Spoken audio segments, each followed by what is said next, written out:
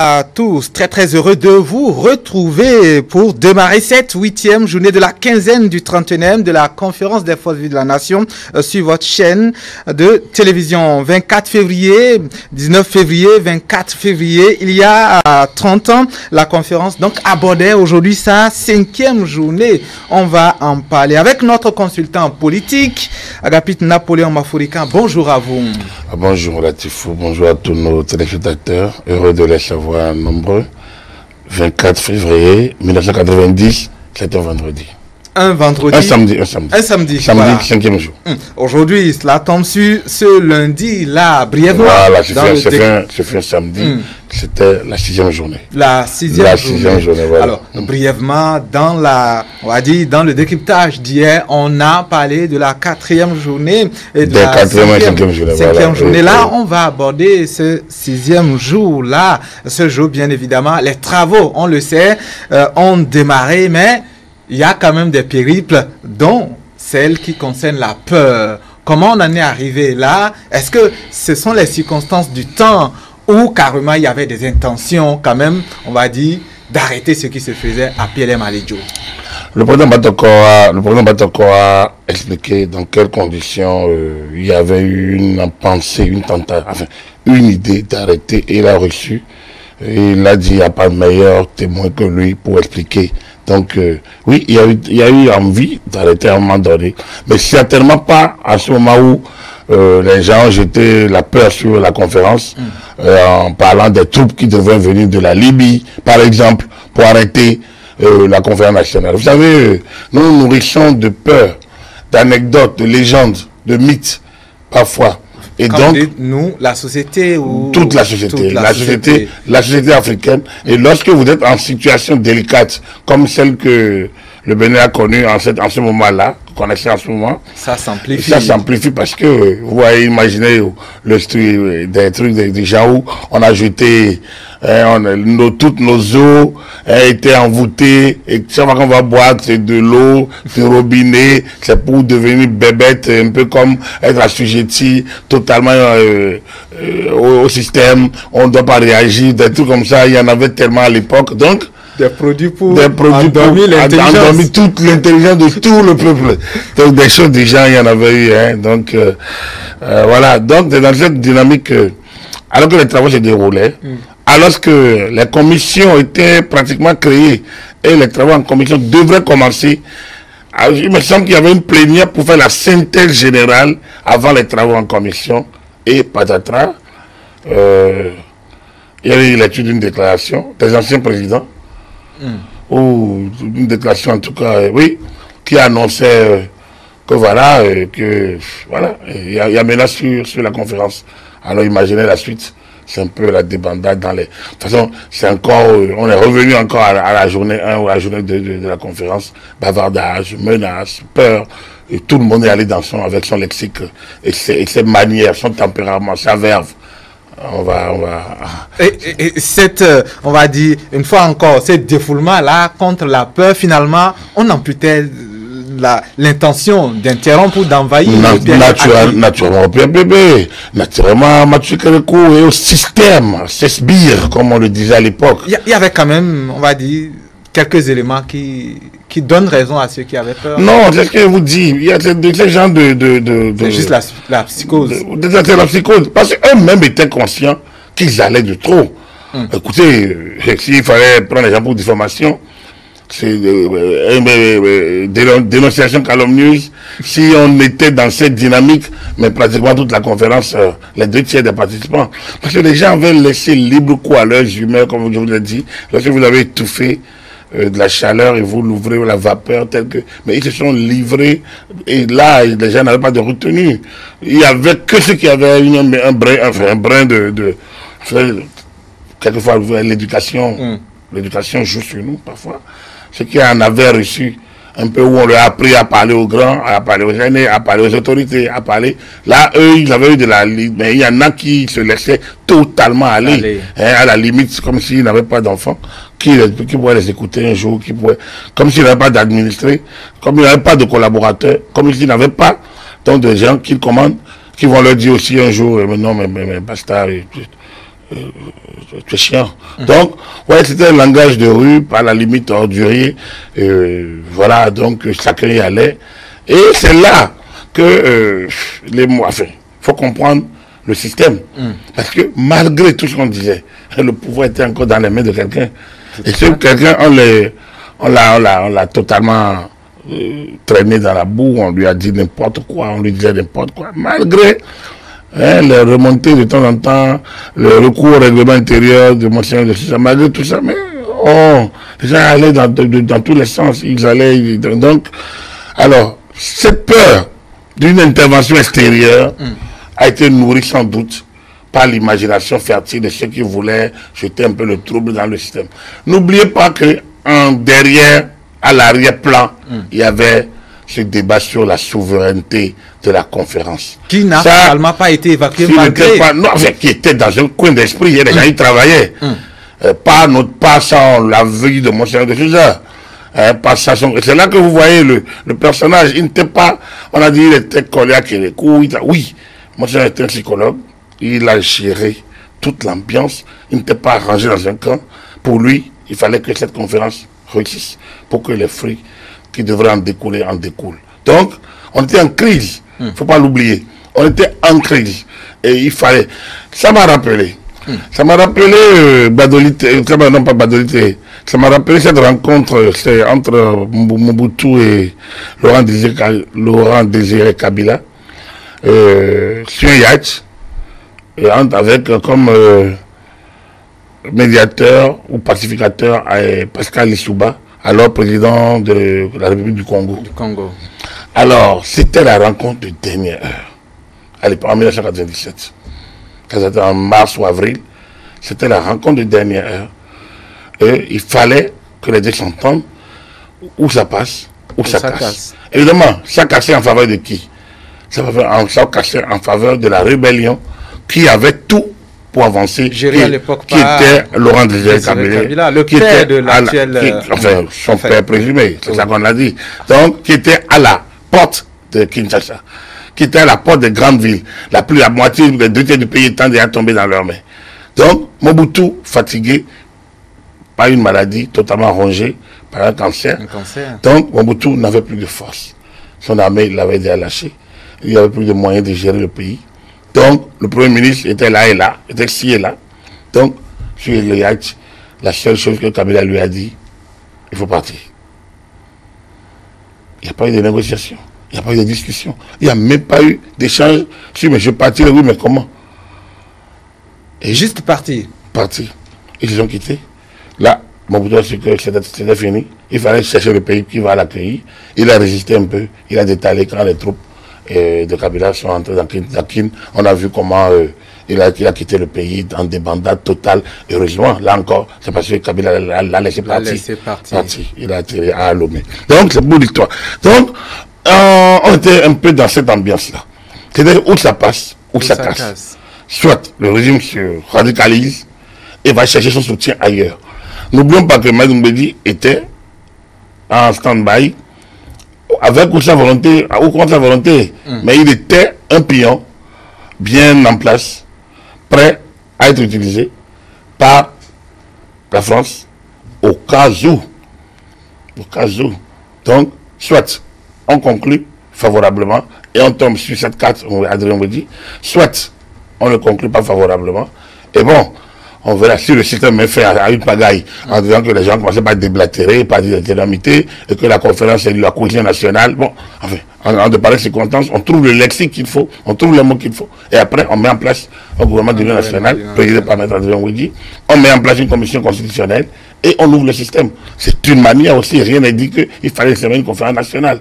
Donc, vous comprenez que, effectivement, qui est, qui est le, les- ceux qui ont convoqué la conférence aient pu penser l'arrêter à un moment donné. Sais pas qu'on l'a dit. Donc, mais amener des troupes de quelque part pour mélanger. Je pense que le ministre de l'Intérieur de l'époque leur a dit de regarder une salle comme ça. Même, même si on laisse la salle, on prend l'enceinte.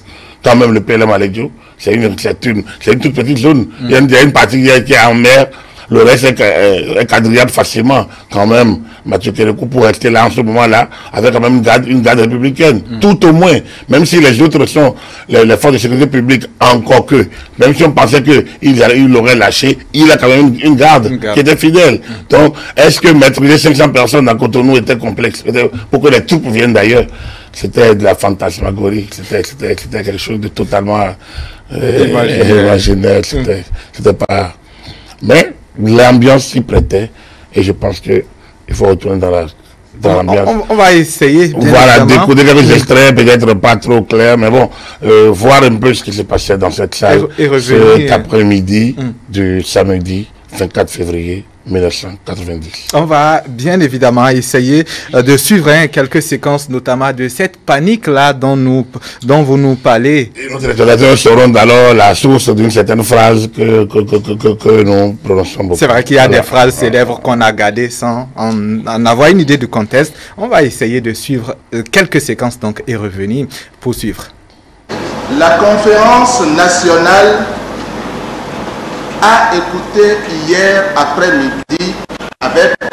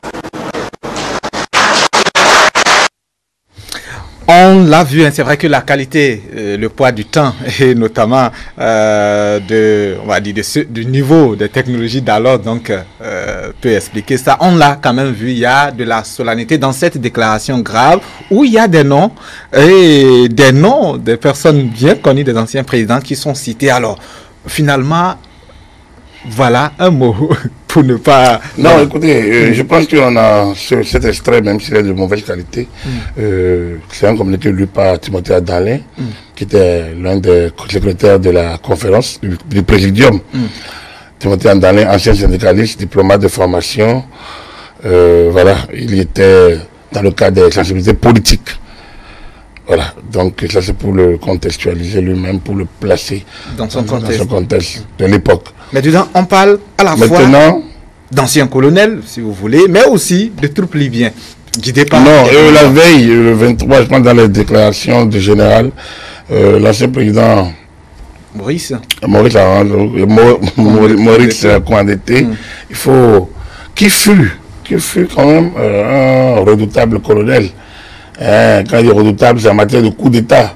Il est réussissait Parce que, non, en fait, lui seul ne faisait pas de coup d'État. C'est un gars d'humeur. Il n'a jamais, de la preuve, il n'a jamais présidé au destiné du pays directement. Mm. Il l'a fait que dans le cadre du triumvirat, Sizogan, de Souza et lui-même. Mm. C'était un triumvirat de gendarmes, donc de d'officier supérieur de l'époque, donc où il a été président donc, du directoire militaire, Hmm. un peu la copie précédente donc du conseil présidentiel qu'on a connu en 70. Donc, Condé n'était pas déjà quelqu'un de souple. Et le poids de l'âge ne l'a pas changé. Et comme les gens racontaient tout ce qu'ils racontaient, alors il lui a levé de la voix. Dans comment Dans le silence des ans. est venu, il vous a tendu une perche. Au lieu, de, au lieu- au lieu de prendre la perche, vous prenez pas la perche et vous racontez n'importe quoi. Si je suis en armée, vous racontez si vous racontez ça. Si moi j'étais Kérékou, je viens le matin, je vous donne, je vous tends la perche. Vous ne cherchez pas, ma perche, je reviens, je vous prends la perche, je vous le fracasse. Je vous fracasse la tête. Allez, on criait. Alors donc, il fallait bien quand même que quelqu'un donne de la voix. Les gens du PPB étaient perdus, ils étaient, ils étaient, ils étaient totalement en, totalement En, en- dehors de, des humeurs plutôt qu'on peut reconnaître à Condé, mais il y a de la logique, si vous voulez. Mais l'humain n'empêche pas la logique. Mm. L'humain, c'est un tempérament. Et quand vous êtes un homme d'humain, vous êtes un homme de tempérament. Vous, vous, peut-être que vous, vous, euh, enfin, vous êtes chaud, comme on le dit. Oui. Vous êtes quelqu'un un peu de de- d'extravagant. De, mais ça ne veut pas dire que vous ne le regardez pas. Et, et vous rejoignez quand vous dites que ça allait un peu trop loin. Et ça allait un peu trop loin, effectivement. Et donc, lui, ancien militaire, estime qu'on en disait trop sur les militaires, qu'il fallait donner de la voix. Est-ce qu'il avait raison Moi, je ne le juge pas. Est-ce qu'il avait, est-ce qu'il avait tort Je ne le juge pas. Mais il y avait, mais il y en avait là qui a été qui allait trop loin. Et les anciens présidents qui ont signé cette communication auraient dû, auraient pu faire, arrêter les diatribes que les gens avaient à l'époque, les injures, les trucs. Donc, pour moi, je trouve que les- avec le temps, que les interventions du colonel Kouandété étaient à propos. Il fallait bien que quelqu'un donne de la voix. Ça a eu le mérite de les calmer un tout petit peu parce que, oui, il a menacé. On a dit tout ce qu'on voulait dire sur lui. Mais je pense que ça, Ça a fait son effet. Ça a fait son effet, oui. Hum. Mais de là quand même à euh, en arriver à ces troupes-là, c'est que la Oui, c'est toujours la même psychose. À partir du moment où on parle, alors tout sonne. Et puis on a parlé de Mohamed Sissé, c'était un peu le djinn, c'était un peu le marabout du président Mathieu Kérékou. qui a, Enfin, qui a eu la chance d'être ministre, paraît-il. Non, il n'était pas ministre. Il, était, il, était- il avait rang ministre d'État. Ah. Il n'était pas ministre, il était rang. Il avait rang. Le rang vous permet donc d'avoir droit aux avantages, et aussi direct comme indirect, par, par rapport aux, aux prérogatives. Enfin, à un certain nombre de, de- de choses. Il était du siècle, mais juste à rang Non, de non, ministre. il n'était pas ministre, attention. Hum. Il ne prend pas des décisions directement. Il était lié à Mathieu. Kérékou. Donc, c'est un, genre de conseil spécial de Mathieu Kérékou. Conseil occulte, conseil comme tout ce que vous voulez. Mais il ne siège pas au gouvernement, il ne siège pas. Mais il, c'est quelqu'un de l'appareil. Hum. Des, des chefs d'État, on sait, on sait tous des personnages qui ont- qu'on affuble de plusieurs titres de qualité. Ils sont là, ils jouent des rôles. Mais ils ne sont pas au conseil. Il y en a même qui participent au conseil des ministres. Mais le djinn ne participe pas au conseil des ministres. C'est un marabout tout simplement. Il ne conseillait pas que Mathieu Kérékou. Il en avait à l'époque dans la région. Donc, Mohamed Sissé, si on a beaucoup cité, en a beaucoup circulé en ce moment-là, il a été condamné finalement par, par le gouvernement. Il devait payer un milliard et quelques. Un milliard. Un tel cas, à l'époque. Mais À ça, c'est après la conférence. Hum. C'était- pour la digression. Donc, euh, les troupes de Libye, heureusement, la Libye a, a- a- a démenti, parce que tout le monde savait que c'était une. euh, on doit à l'époque, euh, moi, de mon âge, euh, hein, absence de, très très encore jeune, je n'ai pas rêvé. C'est vrai quand même qu'il y avait. Je n'ai pas rêvé que Mathieu Kérékou ferait appel à des troupes de Libye. C'est vrai qu'il y avait J'étais très content de- d'écouter Pontal Bâtir, on va le suivre tout à l'heure, ramener les gens un peu à la réalité. à la réalité. Est-ce c'est vrai quand même qu'il y avait cette proximité entre euh, Kérékou, entre-temps même devenu musulman, et le colonel Kadhafi? C'est pas Kérékou, c'est le système. Mais Mohamed était, euh. Kadhafi était là avec le livre vert. Avec la- donc c'était, nous étions révolutionnaires, n'oubliez pas, la Libye était nos inspirations. Et la politique menée par le, le colonel Kadhafi était, était approuvée par nous, euh, par le Bénin, à, à l'époque. Donc il y avait l'axe Cotonou, Ouagadougou et, et Et Tripoli, était, était tout à fait normal. Donc c'était pas, vous savez, Kérékou n'avait pas d'amis particuliers. Kérékou, c'était le porte-parole d'un système. C'était le guide d'un système. Lui, à partir du moment où le système est défini, les, les, les cercles sont, sont, Sont tracés. sont tracés et lui, il, il, opère à l'intérieur. On va passer à d'autres déclarations, notamment euh, pour voir comment est-ce que cette ambiance-là a, Surtout a après, après le. On va écouter les anciens présidents qui, qui après le. Après donc la déclaration de coin d'été, Hum. de, de la veille, que leur réaction, chacun d'eux est allé dans tous les sens. Et puis après, on va écouter le colonel, le colonel de gendarmerie à l'époque, euh, il était commandant, ou lieutenant-colonel Pancrate Bratier, mais à l'homme de l'Intérieur de la Sécurité publique. On les suit et on revient.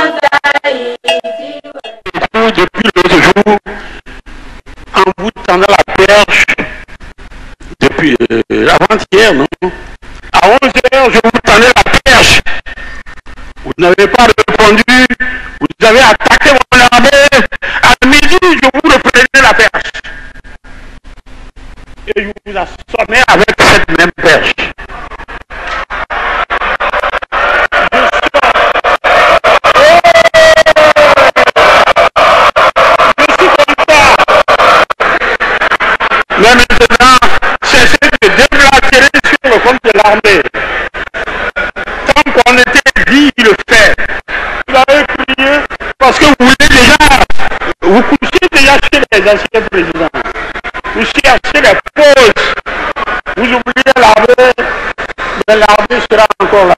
En tout état de cause, si demain, aux élections, que le fou n'était pas candidat à la présidence de la République, Wandete sera candidat à la présidence de la République.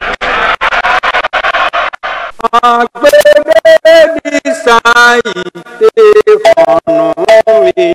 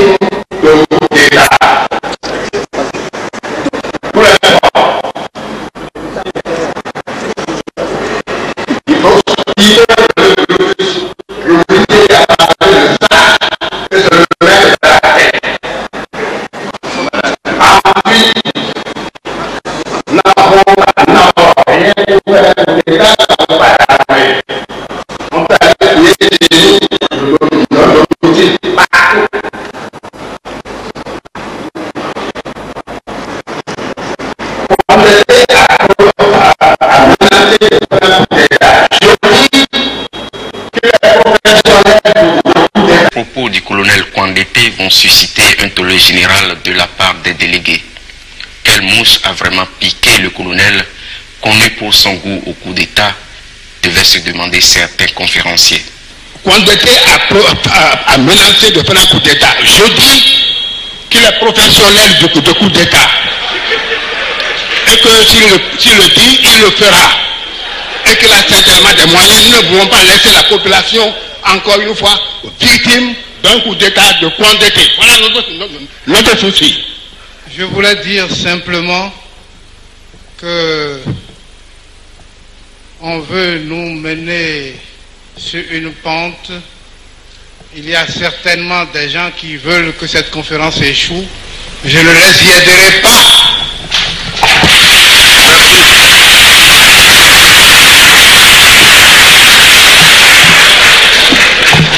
J'ai toujours dit, et ce n'est pas par peur, je ne veux pas voir couler du sang dans ce pays.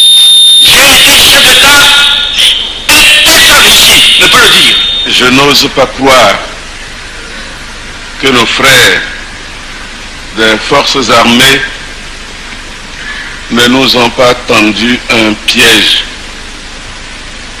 et que le marché que nous sommes en train de conclure avec eux n'est pas un marché de dupes.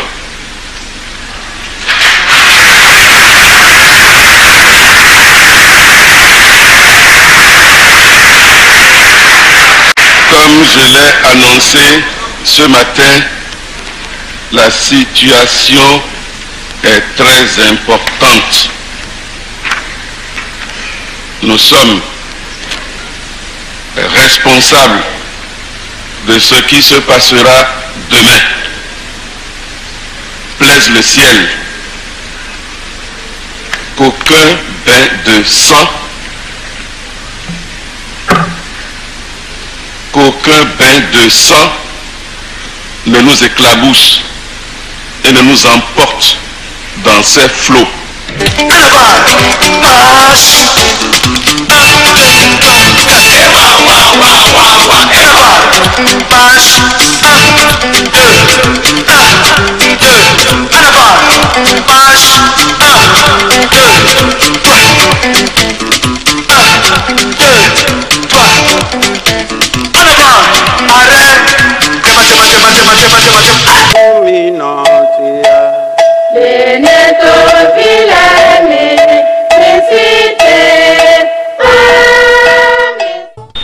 N'ose pas croire que nos frères des forces armées ne nous ont pas tendu un piège et que le marché que nous sommes en train de conclure avec eux n'est pas un marché de dupes.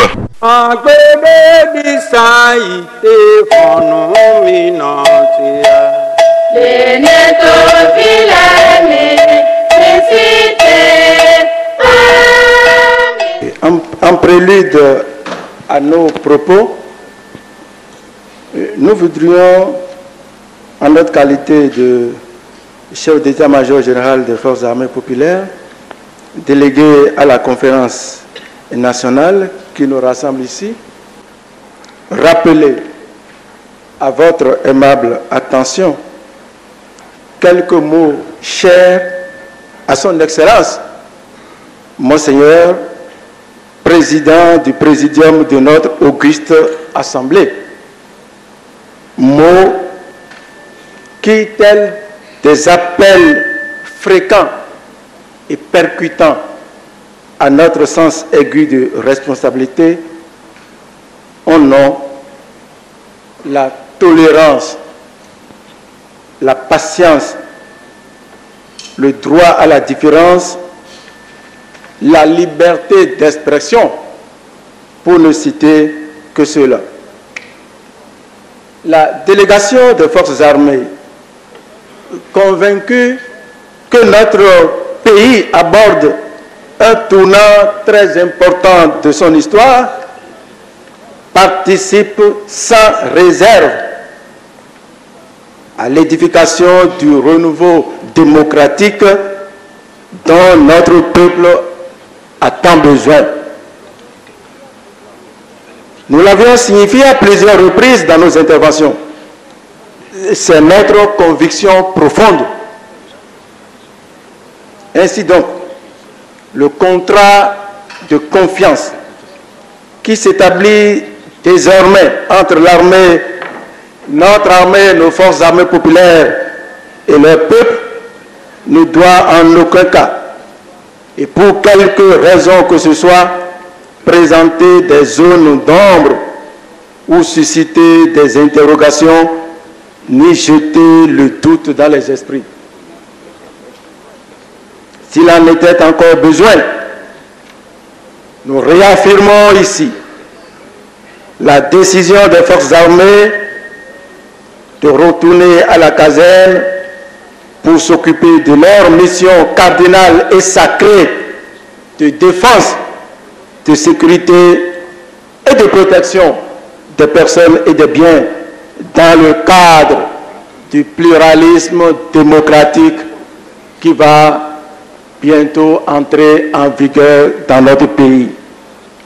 Cette affirmation renouvelée qui situe, encore une fois, la place et la nouvelle éthique des forces armées dans la nation devrait, nous l'espérons, rassurer messieurs les conférenciers et tous les conférenciers ici présents, et partant tout notre peuple, pour dissiper toute illusion malsaine suite à la déclaration de notre ancien compagnon d'armes, le colonel Maurice Kondete.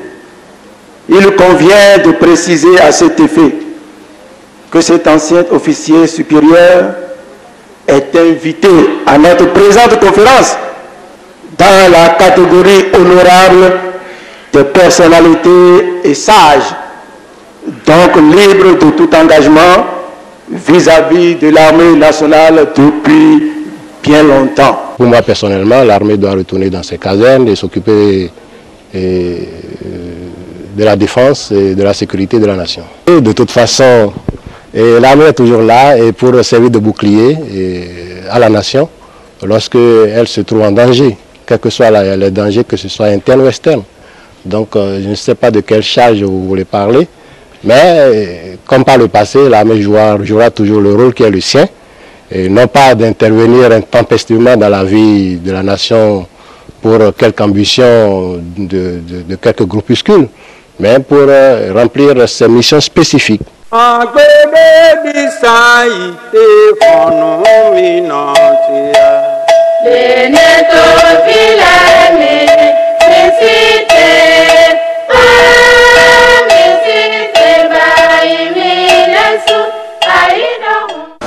Maintenant, j'ai une communication à vous faire de la part, à cause, de l'importance du contenu que nous avons apprécié. Alors, je donne lecture de cette communication et ceux qui en ont la paternité, leurs noms vous seront communiqués.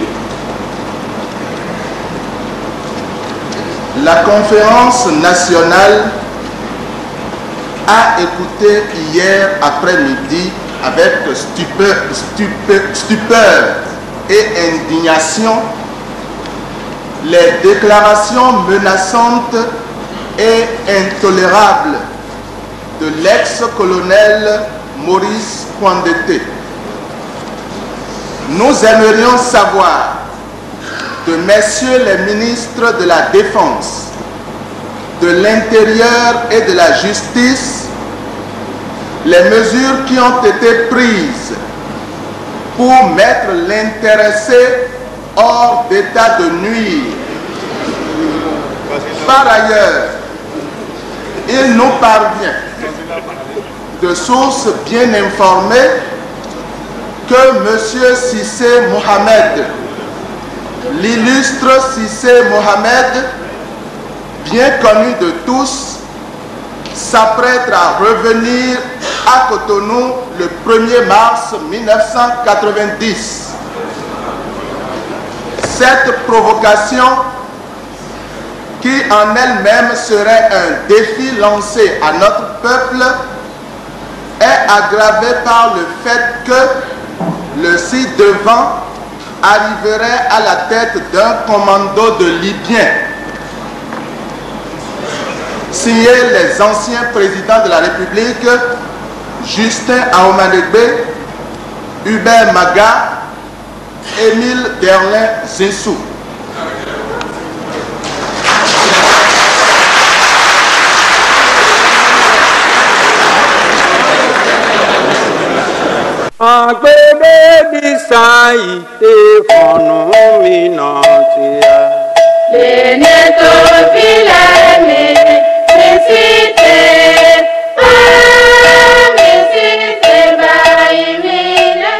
Le Bureau populaire de la Jamaïria arabe libyenne populaire socialiste auprès de la République populaire du Bénin a suivi avec une attention soutenue la lecture du message que les anciens présidents du Bénin ont adressé à l'Assemblée plénière de la Conférence nationale du renouveau démocratique au Bénin à l'hôtel PLM à hier 25 février 1990. Sur instruction express du secrétaire du Bureau populaire des liaisons extérieures et de la coopération internationale, nous élevons la protestation la plus énergique contre les affirmations de ce message qui tendent à faire croire qu'un commando libyen se mettrait aux ordres d'un certain Mohamed Sissé pour venir perpétrer un coup d'État au Bénin. Ces allégations sont dénuées de tout fondement et sont montées de toutes pièces par les ennemis communs des peuples béninois et libyens qui voient d'un mauvais œil les très excellentes relations fraternelles qui se tissent et se consolident chaque jour entre les deux peuples.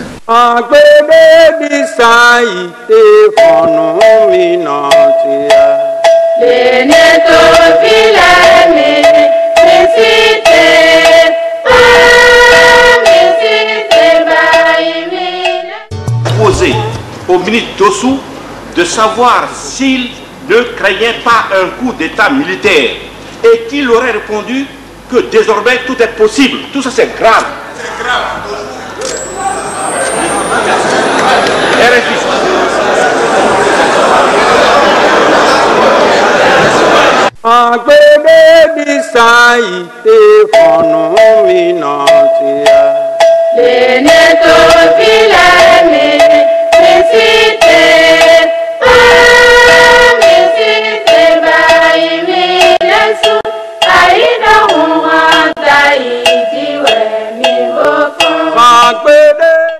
Pour ce qui est de mon interview à RFI, je n'ai pas écouté RFI seul. Donc je ne sais ni les commentaires, ni la manière dont cette interview a été diffusée. Mais hier à la suspension, j'allais sur le gazon de cet hôtel lorsque le représentant de RFI, M. Guadouvier, m'a rattrapé et mis à me poser vraiment des questions et tout en marchant, je lui répondais. Il est certain que il a dit, m'a demandé si je craignais un coup de force. Et je lui ai répondu, ah, tout est possible, que tout était possible. Oui, mais je n'ai pas dit que le coup d'État était possible. J'en ai pas les moyens. Mais maintenant, je vais dire quelque chose sur cette interview-là. J'ignore dans quelle intention Monsieur le Président Maga a fait des observations sur cette interview. Je le remercie pour euh, les possibilités euh, militaires qu'il semble m'accorder. Mais, mais, je suis profondément anti-putschiste. Et j'ai résolu en 1988, lorsque j'ai constaté qu'au cours de la même année, il y a, eu six, tentatives de coup, dont deux selon la version qui a été donnée était sérieuse. J'ai plaidé dans certains de ces dossiers. Et dans le premier dossier qui est passé à la Cour de sûreté de l'État, j'ai dit que si au cours de la même année, il y a trois tentatives de cet ordre, ça veut dire qu'il y a quelque chose de grave en ce moment dans votre vie politique. Et j'ai lancé dans ma méthode un appel au PRTV que le PRTV comprenne et dégriffe la vie politique béninoise. Et j'ai dit que toute cette tentative était une chance pour le. C'était un signe du Seigneur. Et que, ou bien nous faisions comme Sodome et Gomorre, ou bien nous faisions comme Ninive. Sodome et Gomorre n'avaient pas entendu le signe de Dieu, et Sodome et Gomorre étaient détruits. Tandis que Ninive a écouté la voix de Dieu, a corrigé ses défauts et a été sauvé. Lorsque le 29 juillet, accompagné de René Avançon, j'ai pris mon courage à deux mains pour non seulement faire une analyse profonde au chef de l'État, mais prenant ma responsabilité, j'ai décidé que nous allions déclarer à la radio pour que ça se diffuse dans le peuple la nécessité de démonopoliser la vie politique nationale et de créer, de laisser clore toutes les sensibilités politiques dans le pays. Je savais ce que je faisais. Je savais le risque que je courais. Je savais le risque que je courais. Parce que la réaction aurait pu être négative de la part du chef de l'État. J'aurais pu être avec un sou accusé de complot. Ça s'est déjà vu dans ce pays. Et ce n'était pas exclu. Tout ce que je voudrais que chacun sache, c'est premièrement que je suis anti-putschiste. Je suis anti-putschiste. Deuxièmement, j'ai accepté des sacrifices. Je me suis engagé dans des sacrifices pour que tout se déroule dans la paix. J'ai observé que, d'une part, le chef de l'État a accepté les réformes demandées. Et que d'autre part, ce n'est pas certain que dans certains milieux capables de faire du bouge, je ne parle pas de l'état-major qui est venu faire sa protection du pouvoir. Mais j'ai eu très peur hier après la déclaration du colonel réellement, puisque c'est diffusé et c'est rentré chez tout le monde. J'avais pensé que nous aurions fait très attention dans la procédure à suivre. Je comprends parfaitement ceux qui n'ont pas confiance, parce que j'étais à la conférence des cadres 79, et si les conclusions de cette conférence avaient été exploitées, si cette conférence avait eu des effets, je vous garantis que nous ne serions pas ici aujourd'hui. Donc, je comprends, je comprends parfaitement que euh, celui qui a été le chat aujourd'hui craigne l'eau froide. Mais ce que j'ai déploré, c'est que je préfère qu'on aille droit au but. Et si hier les débats avaient avancé plus loin, j'allais dire qu'on carrément laisser les arguments de droite de côté. Parce que je n'ai pas le camouflage. Je n'ai pas que l'on camoufle le désir politique sous des arguments de droite. Parce que le problème aujourd'hui n'est pas un problème de droite, c'est un problème politique. Et si nous avions. Et si. Oui.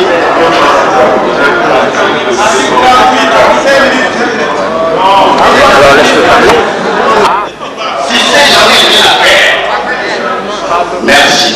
Je dis donc que en réalité, si les débats avaient continué en commission comme cela avait été écrit, parce que jusqu'ici je ne comprends pas comment on a conduit les choses en commission sur le plan en intermédiaire.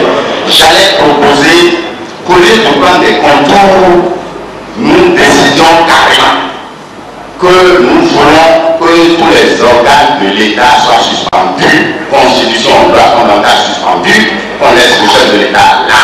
Et le, son agbebebisa ite fọnù mi nà ti ya.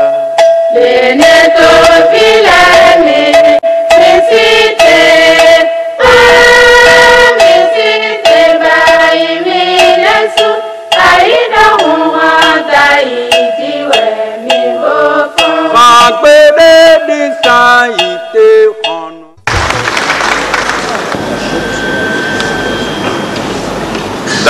Je voudrais dire que quiconque tentera n'importe quelle forme de débarquement aujourd'hui en notre pays, eh bien, subira de manière plus cuisante ce que les mercenaires ont subi ici le 16 janvier 1977.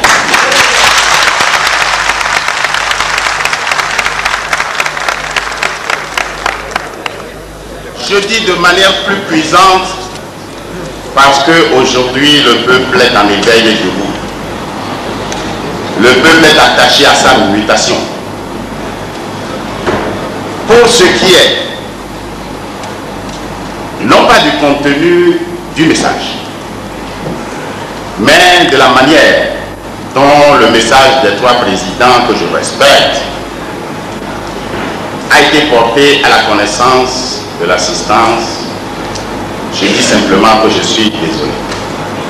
Je suis désolé parce que le comité national préparatoire n'a pas eu qu'à veiller aux questions d'organisation matérielle et à l'aspect intellectuel de la préparation. Nous avons veillé à l'aspect sécurité. Et plus particulièrement, lorsque sous la plume de M. Alexandre Adandé, nous avons été saisis de ce que, à telle date, M. le Président Émile Dermain Sissou allait arriver, le comité a discuté. Et nous avons évoqué le cas Aquilo. Nous nous sommes portés au nom du comité chez le chef de l'État, qui est le ministre de la Défense et qui s'y connaît mieux que nous en matière de sécurité. Nous lui avons demandé si des mesures de sécurité sont prises. Nous savions à peu près ce qui était fait au niveau du ministre de l'Intérieur, mais au niveau de la défense, nous voulions en être assurés. Et il nous a assuré qu'il a donné directement toutes les instructions utiles au ministre de l'Intérieur. Mais en tout cas, de lui faire confiance qu'il y veillera pour que n'importe qui qui ne voudrait pas du succès de la conférence tente n'importe quoi qui soit mis sur le dos du gouvernement. Et en cours de route, ici et là, certains membres du comité national préparatoire, dont moi-même, avons eu des informations du même genre. Aussitôt que j'en ai été informé, je suis parti voir le chef de l'État pour l'en informer et sur certaines informations, il a mener ses enquêtes. Il est mieux outillé que n'importe lequel parmi nous pour vérifier le bien fondé de telle ou telle information.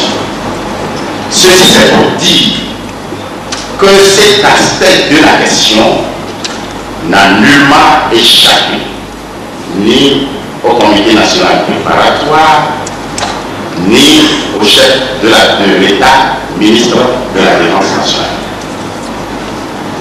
Donc, dans ce secteur-là, lorsque des informations arrivent, il faut, ça, mieux s'adresser aux circuits compétents pour organiser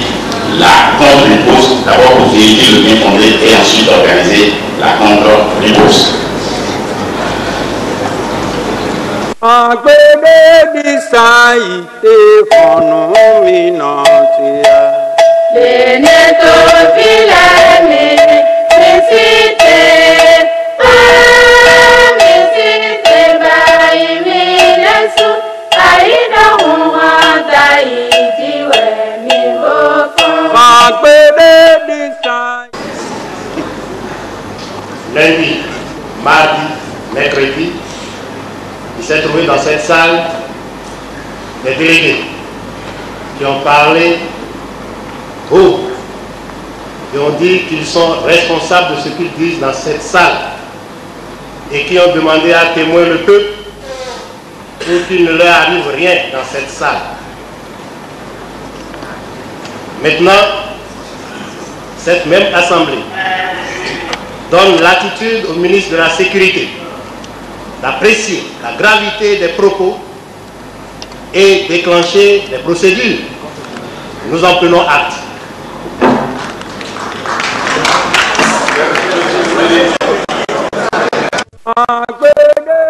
On l'aura vu, hein, une déclaration du colonel Maurice Condété. Ensuite, bien évidemment, la déclaration euh, des anciens chefs de l'État, lui, euh, à cette euh, assemblée, bien évidemment, qui parlait d'une menace venant de la Libye, de, le démenti même du peuple libyen. Et puis, carrément, on a perdu au moins trois journées, si vous voulez, à ressasser la peur, alors que les gens s'efforçaient de démentir quand même et, et de donner les garanties du contraire. La peur, la psychose était, on va dire, trop grande. Oui, euh, disons qu'on a laissé euh, un peu pour que Les gens cette saisissent. thématique, Mm. cette, ce- ça fait cette portion, Mm. cette séquence de la conférence nationale soit un bloc. Sinon, en réalité, les le, le tout est arrivé par les interventions du colonel et Maurice Hiropa Kwandete. Mm.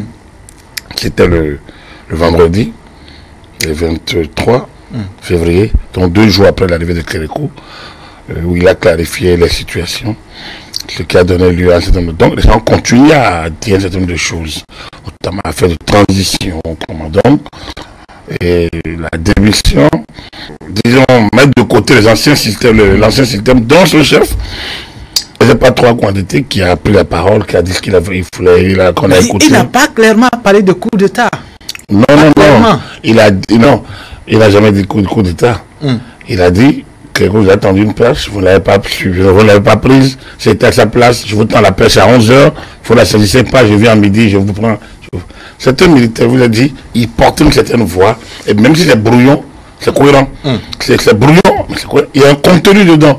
On a pu, tout le monde l'a crié à haute sur Baudet en ce temps, mais quand on prenait du recul, il y a une cohérence il fallait bien que, comme je vous l'ai dit, qu'une voix au moins discordante euh, se manifesta, au moins, pour qu'on sache quand même que oh, les gens ne pourraient pas. Et vous l'avez écouté, Bratier, le, le ministre de l'Intérieur, après. On dit, mais, tout- vous tous vous parliez, vous pensez que vous étiez responsable de vos propos. Maintenant, un Après, vous dites ministre de l'Intérieur. Donc ça montre justement, c'est- on n'a pas changé. hein. En 60, on était comme ça, en, en 90, on était. Aujourd'hui, c'est les mêmes personnes. A dit que le gars, il pense que le droit est lui. Lui, il a le droit. Le devoir, c'est l'autre. Donc, il ne sent pas. Et c'est ça ce qui s'est passé à la conférence nationale. Donc, Maurice Kouaté, allez, il a parlé, ça n'avait pas besoin de... Comme ceux qui avaient droit de débrater sur le système. Et ils l'ont fait d'ailleurs, ils l'ont fait, ils ont crié, ils ont dit plein de choses, mais il a fallu que lui parle. Donc, ça dit que c'est cette absence hein, de, de recul, hein, une sorte de fanatisme de l'ego qui, est- qui, qui, qui- qui fait que on n'arrive pas à s'écouter. On n'arrive pas à analyser ce qui vient de l'autre. On n'arrive pas à aller de l'avant parce que on est toujours à, à- à trouver la petite bête chez l'autre et jamais chez soi. Jamais de- d'analyse de conscience. Donc, la- l'armée a parlé. L'armée a parlé parce que tout le monde est... L'armée a parlé. Vous avez écouté le colonel, de guerre. Il a dit ce qu'il devait dire. Mais il était très gentil d'ailleurs. Mais en ce moment-là, il fallait bien. En ce moment-là, il fallait parce que bon, il y avait effectivement cette psychose et donc l'intervention du, du colonel.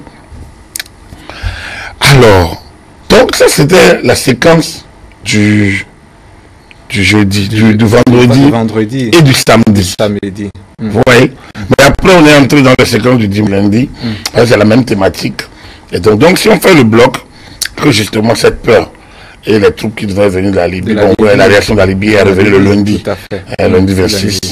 Et le 25, c'est le 25 que les chefs d'État ont fait déclaration en disant, donc dimanche 25, ils ont dit, mais comment, le, le samedi 24, le gaz a proféré des menaces, vous n'avez pas. Donc, c'est un peu, ou bien le vendredi 23, les troupes a proféré des menaces. Donc, c'est le samedi 24 que les anciens chefs d'État On parlait. On parlé. fait la déclaration. Et donc, c'est allé. Donc, ça a duré sur trois, deux, trois jours. Euh, ce qu'il faut retenir, c'est un peu ça, cette, cette peur panique. Mais l'intervention du ministre de l'Intérieur a calmé, A les gens compris. Il est allé plus loin. Mm. Mais c'est là, il est allé plus loin en leur demandant si, cette, salle- si on avait besoin des troupes de Libye ou d'ailleurs, de regarder la salle. Elle n'avait que trois portes. En fait, rappeler que l'armée était silencieuse, que l'appareil sécuritaire était silencieux mais efficace. Non, que l'appareil sécuritaire n'avait même pas besoin d'armée de d'un-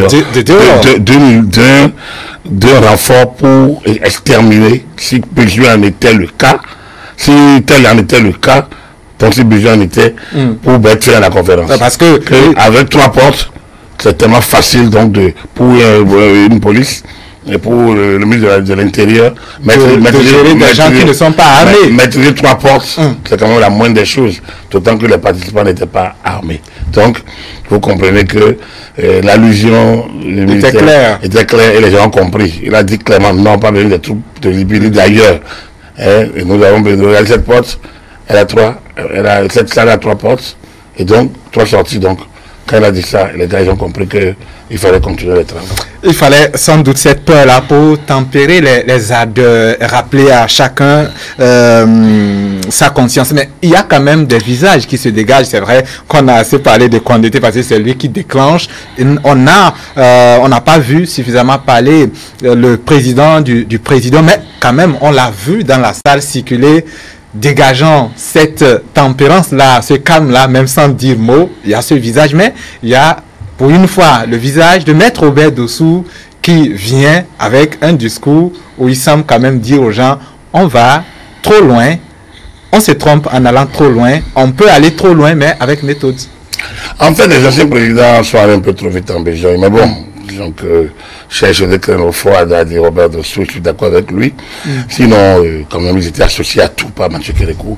Normalement, ils devraient simplement demander une suspension, demander à rencontrer le Écoutez ça président en Kérékou euh. et donc discuter. Bon, donc, euh, euh, c'est- leur communiqué qui a tout mis, qui a mis le feu à la poudre. Et les Parce qu'ils ont dit que c'est un communiqué inspiré des sources fiables. Voilà. Ils l'ont dit. Et l'intervention du président Maga Mm. n'était pas vraiment des meilleures. C'est-à-dire que, bon, c'était pas à l'époque. Mais vous comprenez, c'est le moment, vu, avec la distance, comme on dit, avec le recul, avec 30, 30 ans après, on peut, analyser, on peut comprendre tout ça. Mais eux, ils étaient dans leur dynamique, ils étaient dans leur, dans leur logique, ils étaient dans leur psychose à eux. Mm. Ils ont, chacun d'eux a connu, bon, lui, Maga, non, pas vraiment.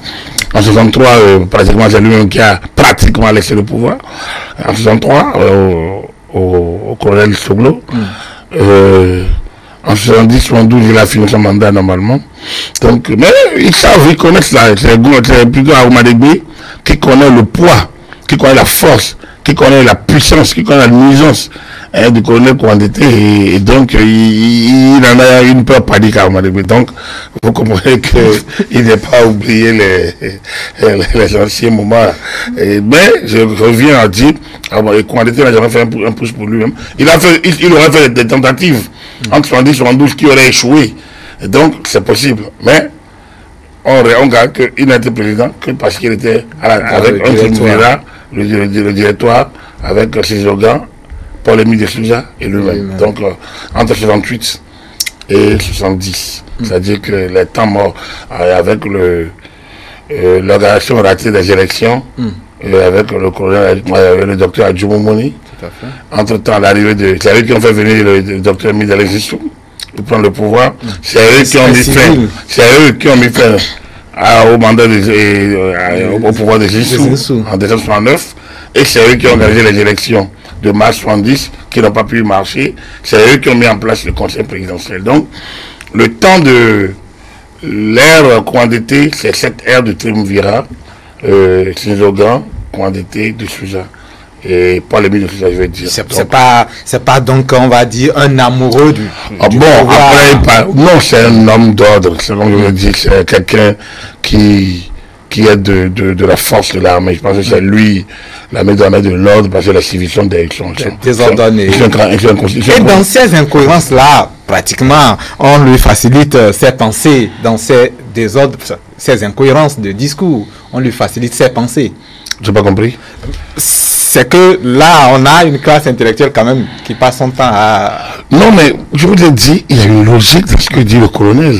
C'est justement la classe politique, c'est pas d'hier. C'est celle qui est là, c'est la même chose qui était en 60 aussi. C'est-à-dire qu'il y a, si vous analysez le discours de la classe politique du Bénin, elle n'a pas évolué. pas le discours n'a pas évolué. Hein, Le discours n'a pas évolué. C'est pour ça que les paradigmes d'aujourd'hui sont que beaucoup parlent de, euh, de, de- quoi, on ne retrouve plus les acquis, on parce que justement, ils sont habitués à un discours, un discours sclérosé, stéréotypé, un mimétisme. Bien notoire qui ne permet pas d'aller plus loin. Et je, moi, je, je, je prends quand même le recul avec Emmanuel Mounier et cette famille frère de, d'armée catégorisée de l'Afrique, mais cet intellectualisme, de mesquinerie, n'est pas, de nature. Donc, quand vous avez ça, vous devez normalement analyser en disant, mais on est quel peuple? Ouais, donc vous ne pouvez plus aller écouter les gens comme on écoute l'évangile, selon X ou Y. Vous devez écouter comme quelqu'un qui écoute un discours, un texte qui doit analyser avec euh, les yeux rivés sur le discours de la méthode, et peut-être sur, sur, sur- sur Descartes, sur la logique, sur le doute cartésien. Parce que vous dites ce que dit l'autre, est peut-être vraie, mais il faut que je justifie. Ne reconnaître qu'une chose pour vraie, que je la connaisse, évidemment, est telle. Donc, comment comprendre ainsi nous permettrait d'aller dans des modes, dans des modes de dialogue beaucoup plus, conséquents, c'est cohérents et surtout compréhensibles, maîtrisables pour, le tout, pour les uns et les autres. Et donc, on peut aller à des ententes plus durables. Or, quand on ne s'écoute pas, vous finissez par avoir des, des- des compromis. Or, les compromis, il n'y a rien de pire. Le compromis est bon pour un instant et très dangereux quand ça va dans la durée. Dans le long terme. Alors, Maître Robert Dossou, son visage, son image, mais son discours. Oui, on a voulu, vous savez, c'est le mal aimé, hein, Maître Robert Dessous. Durant toute cette conférence, euh, comme je vous l'ai dit, c'est un peu le métis dans C'est vrai qu'on l'a vu dans le discours. Il a eu du mal. C'est un peu le métis dans le système d'apartheid. hein. Il est- il est- il n'est ni pour les blancs, ni, Ni pour, les noirs. Il est métis entre les deux. Robert Dessous, on- lui-même, enfin, Pancras Blati a essayé donc de, de résumer leur état d'âme. Robert Dessous l'a dit la même chose d'une certaine manière. Il a expliqué tout ce qu'il a fait. Il a profité pour expliquer tout ce qu'il a fait. Il a réglé le, la- le problème qui était là, a été réglé en une, deux minutes, en une, deux phrases. Voilà, si vous avez de, de pareilles choses à dire, ce n'est pas à moi, il fallait le dire. Il fallait voir lui. celui qui a le même canal, c'est le président de la République, chef de l'État, ministre de la Défense, c'est lui qui a voulu dû utiliser d'autres canaux que de venir à la... Il a réglé ça. Mais il est revenu sur ce que lui, il a pensé. Il- en fait, il a fait son self-service. Il, il s'est- il s'est servi. Il est passé à table pour lui-même, hein, pour expliquer. Oui, j'ai joué un grand rôle. Depuis là, vous ne pensez pas me mettre au sérieux. Enfin, vous me prenez pas au sérieux. Vous me mélangez avec le dites, Moi, je ne suis pas PPB. Au contraire, j'ai agi pour que le PPB disparaisse. Aujourd'hui, je suis payé en monnaie de singe.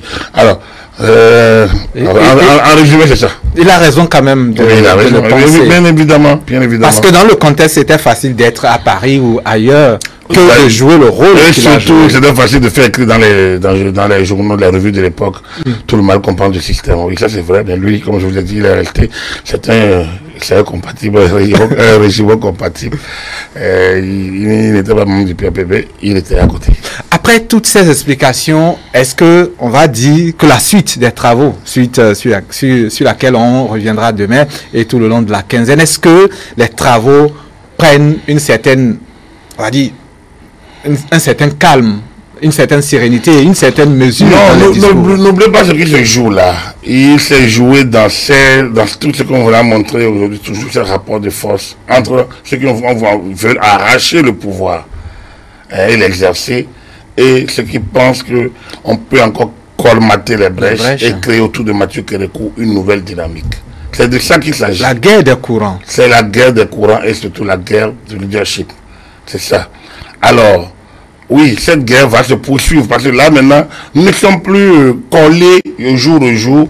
Nous, il y a des thématiques générales Mm. maintenant, parce que on a fini les blablabla, on a fini le discours général, nous rentrons dans le vif du sujet. Donc aujourd'hui, aujourd'hui c'est peur sur la conférence, mais après les gens diront normalement, les commissions sont créées Mm. et ils devront normalement aller travailler en commission.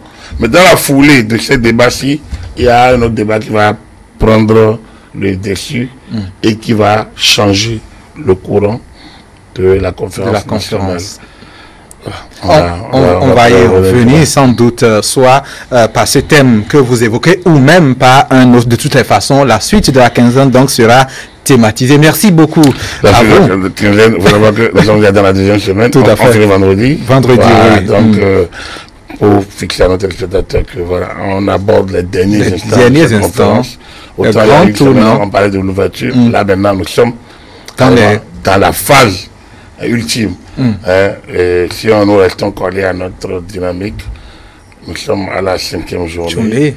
À la, La sixième journée. Mm. c'est-à-dire le samedi Mm. et 24. Oui. Donc nous sommes appelés à aller sur 28, donc euh, on va vers la fin. On va vers la fin, bien évidemment. Demain, on va prendre rendez-vous avec vous, Agapit Napoléon Maforican, pour aborder un autre thème important qui, quand même, euh, tous, les, tous les autres thèmes sont importants. D'ailleurs, euh, tous- les mots tous les autres on l'a- on on vu. Tous les autres thèmes seront importants, puisque de toute façon, comme je dis, nous allons vers la fin, et donc il faudrait voir un peu comment tout ça a été ficelé pour que nous ayons ce qu'on a eu en 90. Et là, on peut parler, on peut analyser ce qu'on a appelé consensus, Consensus, et euh, acquis. les acquis. Là, je pense qu'à la fin, on peut avoir ce Ces- de- ces- ces analyses-là. faut suivre un peu comment tout ça, ça a évolué pour qu'on en arrive à la fin. Alors, les prévus et les imprévus donc euh, de cette conférence, on va poursuivre hein, demain autour de 7 heures. On prend langue avec vous. Après Bonne suite de journée, bien évidemment, après le journal de la matinée. Bonne suite de journée à vous. Merci, à nos téléspectateurs aussi, surtout, qui ne, qui ne quittent pas parce que le programme de la matinée, le matin, se poursuit avec Stanislas Amoy et le reste de son équipe.